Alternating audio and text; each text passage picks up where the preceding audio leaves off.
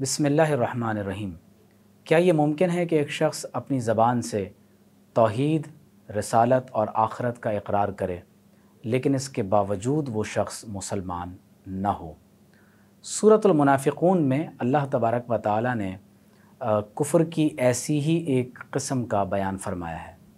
याद रखें कि अगर कोई शख्स अपनी ज़बान से ईमान का इजहार करे, लेकिन उसके दिल में कुफ़र छुपा हुआ हो या वो अहले ईमान की मजलिस में तो ईमान का इजहार करे, लेकिन जब अपने मुतलकिन और कम्युनिटी के साथ हो तो कुफ़र का irतकब करे, ऐसे अमल को नफाक से ताबीर किया जाता है।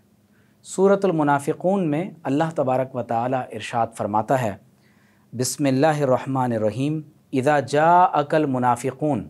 या रसूल अल्लाह सल्लल्लाहु अलैहि वसल्लम, जब आपकी बारगाह में मुनाफिकीन आ जाएँ यानी जिनकी ज़बान पर ईमान का इजहार है, लेकिन दिल में कुफ्र छुपा हुआ है। वो मुनाफिकून क्या कहते हैं? कौलू नशहदु इन का ल रसूल और वो ये कहते हैं कि हम ये गवाही देते हैं कि बेशक आप सल्लल्लाहु अलैहि वसल्लम अल्लाह के रसूल हैं।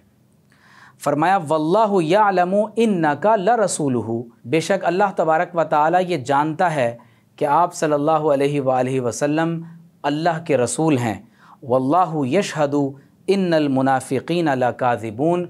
और अल्लाह तबारक व ताली ये गवाही देता है कि मुनाफिकीन झूठ बोलने वाले हैं। इससे ये बात मालूम हुई कि बज़ाहिर किसी का अपनी ज़बान से महज ये कह देना कि मैं अल्लाह के रसूल सल्लल्लाहु अलैहि वसल्लम पर ईमान रखता हूँ। लेकिन दिल में कुफ़र हो, दिल में निफाक हो, या आप सलाम की नाउज़बिल्लिक रसालत पर ईमान के साथ वो आप सलाम के ख़ातमनबीन होने, अल्लाह के आखिरी नबी और रसूल होने का इनकार कर बैठे और उसके बावजूद अपने मोमिन होने पर इसरार करता रहे तो क़ुरान का फ़ैसला यह है कि ऐसा शख्स मुनाफिक है जो ज़बान से तो बज़ाहिर ईमान का इकरार करता है, लेकिन उसके दिल में कुफ्र छुपा हुआ है। गौर कीजिए कि सूरतुल्बक़रा में अल्लाह तबारक व ताली ने इसी बात का इजहार इन अल्फाज में फ़रमाया कि वमिन नासी, लोगों में से कुछ ऐसे भी हैं। मैं यकूल आमन बिल्ला वबिल यौमिल आखिरी, वमा हम बिमिन जो ये कहते हैं कि हम अल्लाह पर ईमान लाए और आखरत पर ईमान लाए। अल्लाह ताला फरमाता है, वो ईमान वाले नहीं हैं।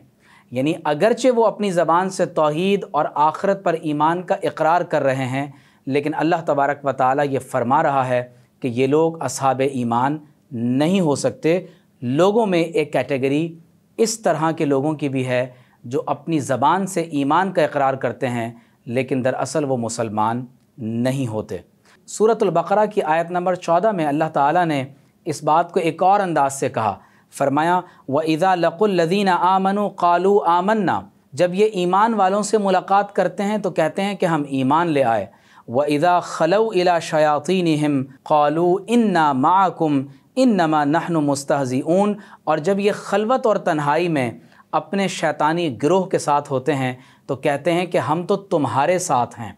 हम ईमान वालों के साथ नहीं हैं, हम मुसलमान नहीं हैं, हम तुम्हारे साथ हैं। अल्लाह ताला फरमाता है, वो कहते हैं कि इन नमा नहन मुस्तहज़ीन हम तो महज अपनी ज़बान से ईमान का इकरार करते हुए ईमान वालों का मज़ाक उड़ा रहे थे। अल्लाह ताला सूरतुल बकरा की आयत नंबर नौ में इरशाद फरमाता है युखादिन अल्लाह वल्लदीना आमनु ये अपने गुमान में अल्लाह ताला को नाउज़ुबिल्लिक और अहले ईमान को धोखा देना चाहते हैं। फरमाया, वमा यखदऊन इल्ला अनफुसहम ये धोखा नहीं देते, मगर सिर्फ़ अपने आप को, वमा यशरून और वो इसका शूर भी नहीं रखते। इससे ये बात मालूम हो गई कि महज किसी का ज़बान से ईमान का इकरार कर लेना ये काफ़ी नहीं होता। तावक्त कि वो दिल से ईमान की तस्दीक न करे। अगर कोई शख्स ईमान वालों के सामने अपने ईमान का इजहार करे, लेकिन जब अपने शैतानी गिरोह के पास हो तो यूँ कह दे कि हम तो ईमान वालों के साथ नाउज़ुबिल्ला मज़ाक कर रहे थे। अल्लाह तबारक व ताली ने इसे नफाक से ताबीर किया और फरमाया कि अल्लाह ताला ये गवाही देता है कि बेशक मोहम्मद सल्लल्लाहु अलैहि वसल्लम अल्लाह के सच्चे रसूल हैं, लेकिन वो लोग जो दिल में कुफ्र छुपाए बैठे हैं, वो झूठ बोलने वाले और कज़्ज़ाब हैं। लिहाजा अगर कोई शख्स अपनी ज़बान से मुसलमा कज़्ज़ाब की तरह आप सलाम की नबूत और रसालत का इकरार तो करे, लेकिन आप सलाम के आखिरी नबी और रसूल होने का इनकार कर बैठे तो ऐसा शख्स मुसलमान नहीं हो सकता। अल्लाह तबारक व ताली हमें मुनाफिकीन की सोहबत से भी बचाए और हमारे दिलों को निफाक से महफूज व मामून फरमाए और परवरदिगार आलम हम सब का ख़ात्मा बिल ईमान फरमाए।